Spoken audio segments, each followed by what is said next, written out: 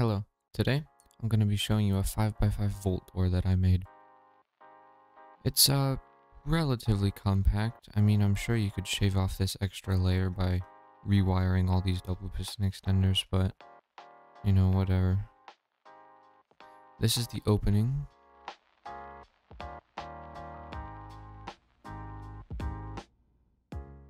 And that was the closing.